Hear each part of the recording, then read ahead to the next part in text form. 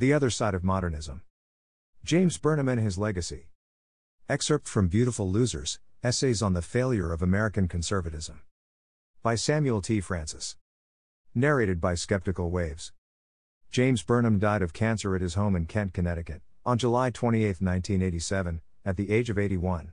Debilitated since 1978 by a stroke that impaired the functioning of his memory, he had long since ceased to write the fortnightly column The Protracted Conflict in National Review, on the masthead of which his name had appeared since its first issue in 1955. A reticent man by nature, Burnham by the time of his death was not well known in either the national intellectual community or even in the conservative movement with which he had worked since the 1950s, and many today who are pleased to call themselves conservatives confess their ignorance of who he was or what he had done.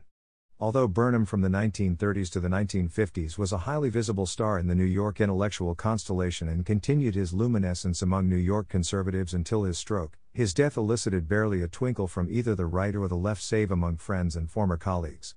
The indifference is all the more striking since President Reagan had seen fit to award Burnham the Presidential Medal of Freedom in 1983 and issued a laudatory tribute to him after his death. The neglect of Burnham by liberal and even mainstream media is explained by many conservatives as the response to be expected from those whose incantations to the broad mind and the open mouth are belied by their contempt for those who dissent from their canons. Yet Burnham was also neglected by many conservatives, who knew him best through his column in his classic Suicide of the West, repeatedly reprinted since its first publication in 1964. George H. Nash, in his monumental The Conservative Intellectual Movement in America since 1945, acknowledges Burnham's importance in the emergence of conservative anti communism in the 1940s and 1950s, but neither Mr. Nash nor most other students of American conservatism have fully appreciated the significance of Burnham's political ideas or their potential for constructing a serious and critical political theory for the contemporary American right. Burnham did not generally socialize with the conservative movement. He was not a member of the Philadelphia or Mont Pelerin societies, rarely contributed to conservative periodicals other than National Review, and seldom or never participated in the seminars and summer schools of the Intercollegiate Studies Institute or Young Americans for Freedom. His aloofness was probably in part a personal choice, but it also reflected an incongruity between his mind and that of the mainstream of American conservatism as it has developed since the 1940s. Burnham and his more percipient readers were aware of the incongruity which served to keep him at a distance from many of his professional collaborators on the right, while, ironically, causing the left to concentrate its fire on his writings to a greater degree than on those of any other conservative intellectual figure of our era. Until fairly recently, the mainstream of American conservative thought could be divided into two camps, generally called libertarian and traditionalist. The former centered on individual rights and the limitations of the state and emphasized the free market as a means of solving social and economic problems. The traditionalist wing of conservatism focused on the duties of men in a historic continuum and emphasized authority, order, and religious and ethical virtue. Although subsidiary and eclectic bodies of opinion flourished, and though some like the late Frank S. Meyer sought to formulate a fusionist school that bridged the contradictions between libertarians and traditionalists, these were the generally predominant currents among American conservatives until the 1970s. At that time, with the rise of the new right and neoconservatism, which are less schools of political thought than political and policy movements, the clear dual framework of conservative thought began to break up. James Burnham belonged to neither the libertarian nor the traditionalist category, though his thought was not merely a bridge between them. He often endorsed governmental action in the economy and was strongly criticized by libertarians such as Murray Rothbard and Edith Efron for his fundamental ideas of man and society. Yet while these ideas emphasized order, authority, and power, they were rather clearly distinct from those expressed by Orthodox traditionalists. The religious and ethical orientation of traditionalism has led it to look to pre modern thought, classical and medieval, for its ideas on social and political order. Indeed, traditionalist conservatives generally identify themselves in opposition to what they call modernity and its legacy. As traditionalist Stephen J. Tonsor defined the concept in a noted address to the Philadelphia Society, later reprinted in National Review, in 1986, by modernity mean that revolutionary movement in culture which derived from a belief in man's radical alienation, in God's unknowability or non existence, and in man's capacity to transform or remake the conditions of his existence. The thoroughgoing secularism, the attack upon the past, religious and social, aristocratic or bourgeois, the utopian dream of alienation overcome and innocence restored are all linked together in the modernist sensibility. The romantic satanic hero is the same man as the Prometheus of Shelley and Marx, the Zarathustra of Nietzsche. Modernism in the view of Dr. Tonsor and other adherents of traditionalist thought, most notably, Eric Voegelin, Russell Kirk, Richard Weaver, and Leo Strauss, among others, cuts man off from the transcendent. Hence, modernism denies or ignores God and concentrates on secular knowledge and action. Human knowledge can be only empirical, moral statements can be only relative or factual, there being a dichotomy between fact and value, and human action cannot be modeled on transcendent or spiritual goods that either do not exist or cannot be known. Hence, science, the immoral and empirical description of nature, is the characteristically modern way of knowing, and technology, the application of science to practice, is the typically modern way of doing.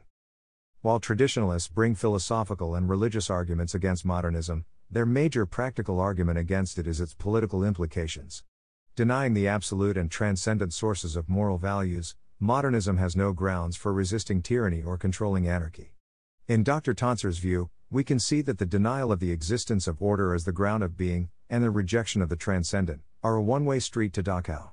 If everything is permitted and the will to power is the only reality, then the Gulag is as logical as an Euler diagram. Modern political thought from the time of Machiavelli and modern liberalism from the time of Mill have rejected the idea of an absolute moral order to which social and political institutions should conform and in the absence of a basis for firm moral judgments are unable to distinguish between dissent and subversion, friend and enemy, right and wrong, or to exercise power in the interests of justice and a morally based social order. What is striking about the political thought of James Burnham, however, is that it is distinctively modernist.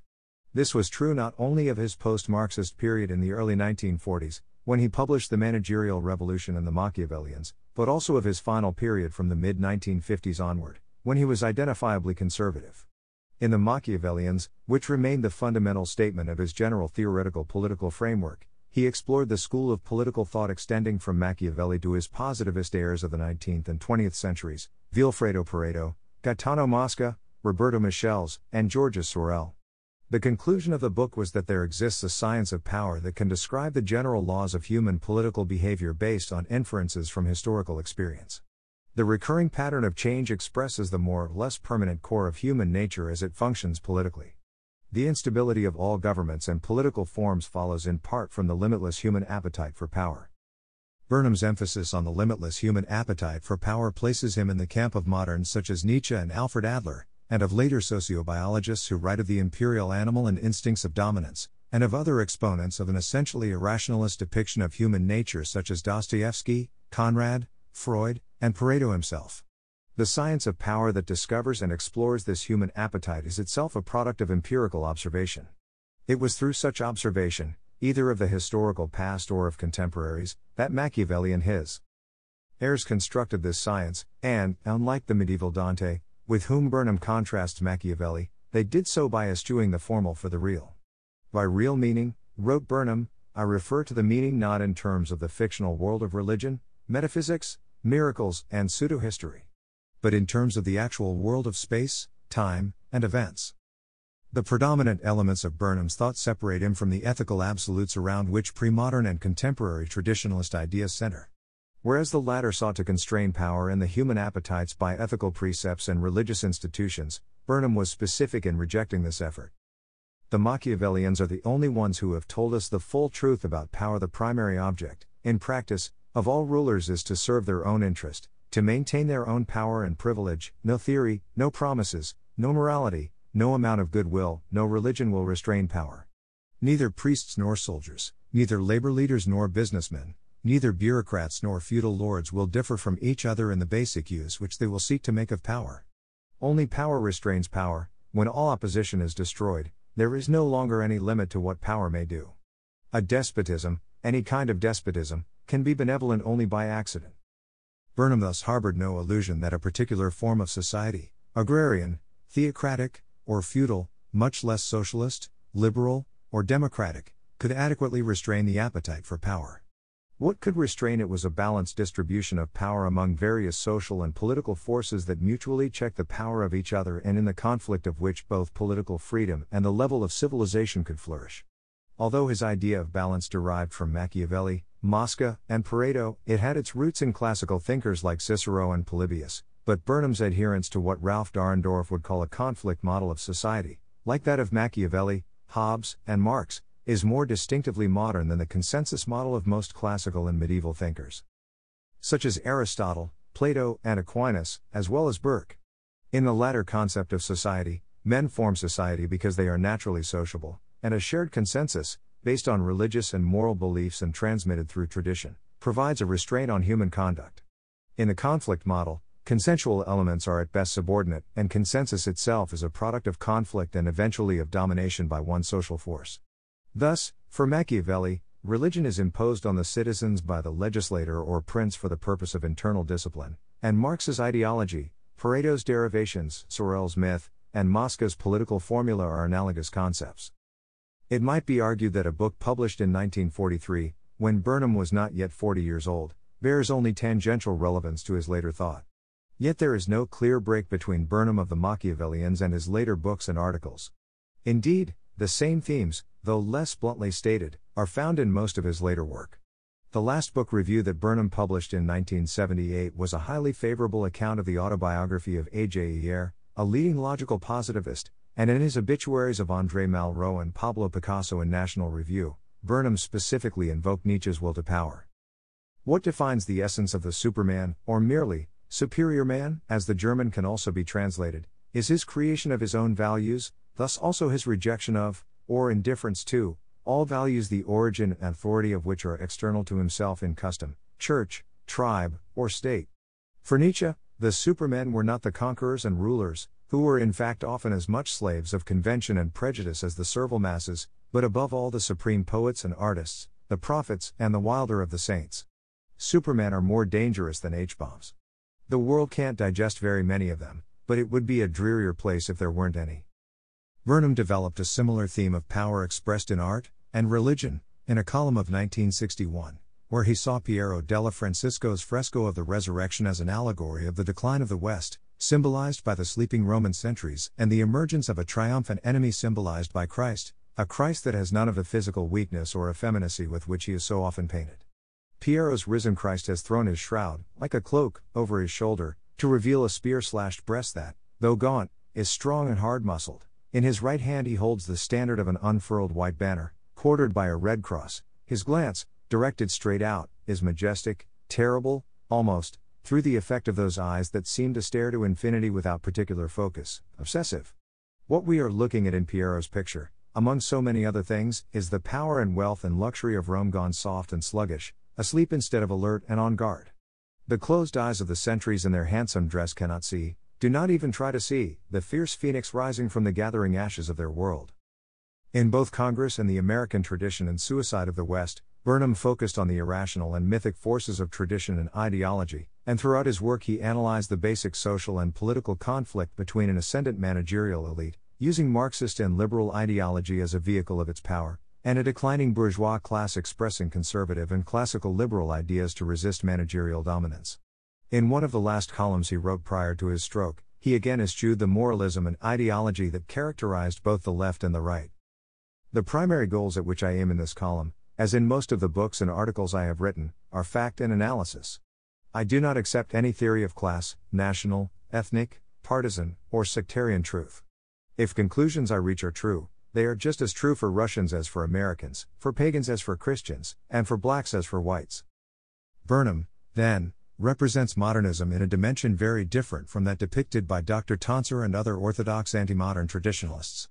While this school is correct in pointing to one side of modernist thought as a vehicle for revolutionary and secular millenarian ends, there is also another side to modernism, represented by Machiavelli himself, Montesquieu, Hume, and Madison, to name but a few of its early representatives.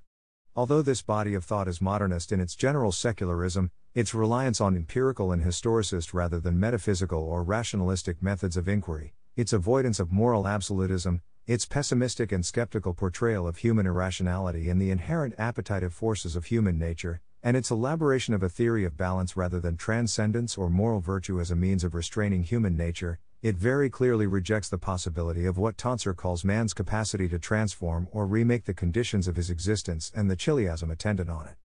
Such secular transformationalism, immanentization of the eschaton, in Voegelin's phrase, is, in fact, an importation from secularized Judeo Christian thought and, as not only Voegelin but also James Billington and the late Frances Yates have shown, lies at the root of modernist revolutionary totalitarianism. The other side of modernism that James Burnham represented leads not to Dachau and the Gulag but to the classical republicanism that originally informed the framers of the American Republic. Burnham's modernism alienated those traditionalist conservatives who were aware of it. Their minds tend to center on the more ethereal regions of religion, ethics, metaphysics, and aesthetics, rather than on the sociological analysis of political conflict and the geopolitics of global struggle, and they are not attracted to and are often repelled by a worldview that centers on conflict, power, and human irrationality. Whittaker Chambers, whose own mind reflected a tension between modernism and anti modern elements and who expressed deep admiration for Burnham, nevertheless criticized him for his prudent, practical thinking. The Firebird, wrote Chambers, is glimpse living or not at all. In other words, realists have a way of missing truth, which is not invariably realistic. The Firebird refers to the classical myth of the phoenix, a bird composed of fire that, since it was consumed by flames as it flew through the air, left no body. Its existence therefore could not be proved empirically, by finding its body, it had to be seen alive or not at all. Chambers's meaning is that Burnham's worldview demanded empirical proof for things that by their nature could not be proved but were nevertheless known to be true by those who had seen, or felt or intuited, them. If both contemporary conservative traditionalists and libertarians were at odds with the contours of Burnham's thought, the left found itself attracted to it and yet at the same time repelled. Burnham's The Managerial Revolution was strongly criticized by C. Wright Mills, Ralph Dahrendorf, and other sociologists of the left, who saw its thesis as a direct threat to their own Marxist and neo Marxist analyses of contemporary power relations in capitalist society. George Orwell also wrote long essays on Burnham in which he sought to deflect the criticisms that Burnham, from his perspective of modernist realism, raised against the utopian formalism of the leftist mind. Similar critiques greeted Burnham's analysis of the Cold War and communism, until, in the early 1950s, his refusal to denounce Joseph McCarthy led to his virtual expulsion from Northeastern intellectual circles. Yet the left, unlike much of the right, recognized Burnham's preeminence, and in 1950 David Riesman could write in The Lonely Crowd of Marx, Mosca, Michels, Pareto, Weber, Veblen, or Burnham in the same sentence the left perceived that Burnham's inversion of modernism was a far more serious threat to it than the anti modern traditionalism that many conservatives represented, since Burnham's counter modernism threatened to remove the philosophical grounds from under the feet of the left and leave it with no basis for its political ideology. The American right, for all its intellectual sophistication and political progress, has yet to come to terms with or make use of the implications of Burnham's thought.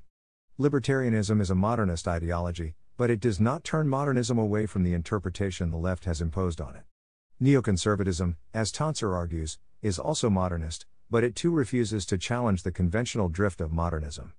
Neoconservatives rely on an eclectic assimilation of liberal, libertarian, and traditionalist ideas, and seek only to achieve piecemeal or gradualist changes within a conventionally modernist framework. Most of the journalism and propaganda that has issued from the new right and neoconservatives cannot be taken seriously as political and social thought. Orthodox traditionalism rejects modernism, but does so in a manner that is largely alien and inexplicable to the modern mind and tends to degenerate into cultism. Among contemporary conservatives, only James Burnham offered a theoretical framework and a practical application of modernist political ideas that challenge the conventional modernist categories as defined by the left. When the American right begins to understand and accept his legacy, it will begin to glimpse a more enduring victory in the protracted domestic and global conflict in which Burnham was enlisted.